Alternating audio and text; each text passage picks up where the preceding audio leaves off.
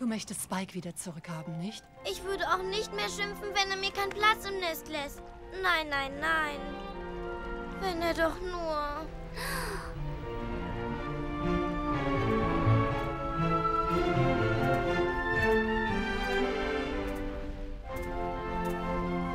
Spike? Spike! Spikey! Na endlich, Spike!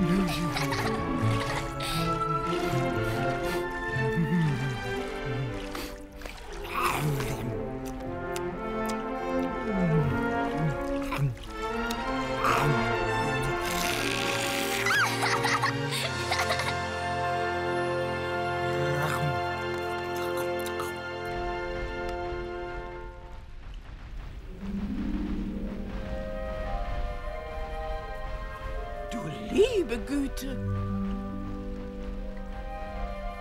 Reicht das, reicht das für uns alle? Na ja, ihr. Äh, Aber natürlich, bedient euch.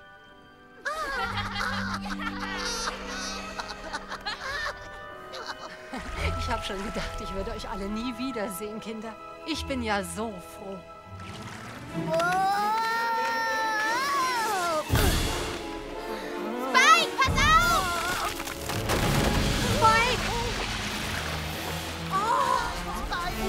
oh Das nein, Wasser tief und Willen. kann nicht schwimmen. Helft ihm doch!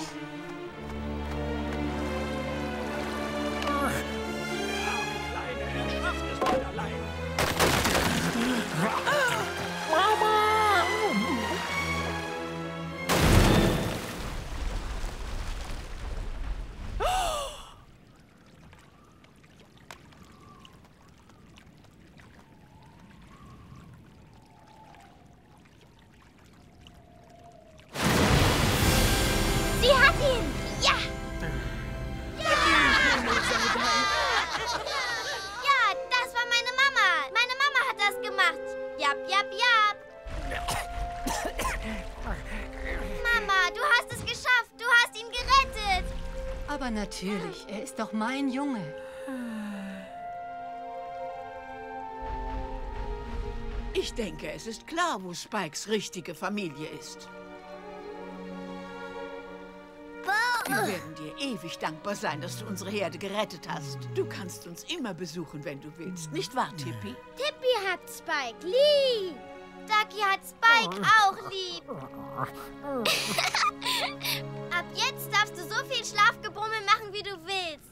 Ich werde mich nie mehr darüber aufregen. Oh nein, nein, nein.